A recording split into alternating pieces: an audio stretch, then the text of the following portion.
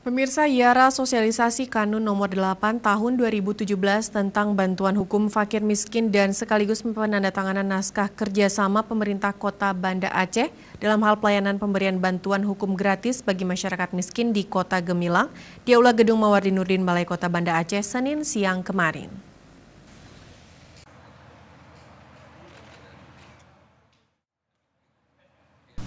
Bantuan hukum secara cuma-cuma sebagaimana diatur selama ini dalam peraturan perundang-undangan belum dapat memenuhi dan memberikan akses yang seluas-luasnya kepada kebutuhan masyarakat miskin dalam memperoleh bantuan hukum.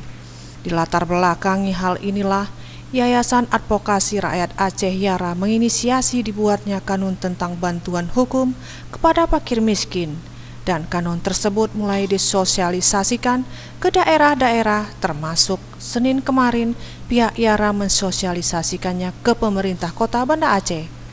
Dan pemerintah kota Banda Aceh menyambut baik adanya pelayanan bantuan hukum gratis bagi masyarakat miskin.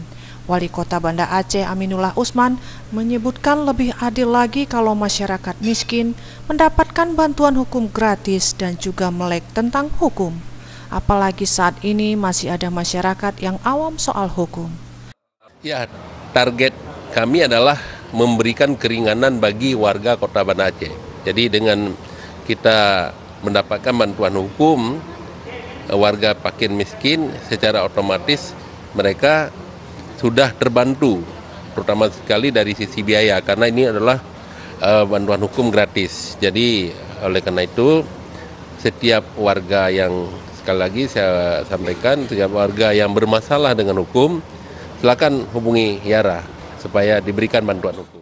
Sementara itu, Ketua Yara mengharapkan pemerintah Kota Banda Aceh dapat memiliki kanun serupa sehingga semakin menguatkan dalam hal pemberian layanan bantuan hukum kepada fakir miskin.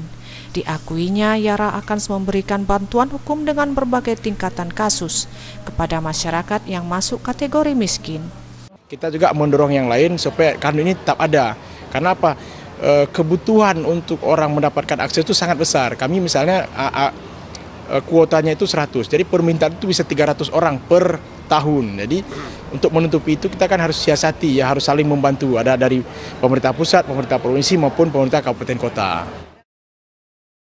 Tim Liputan Aceh TV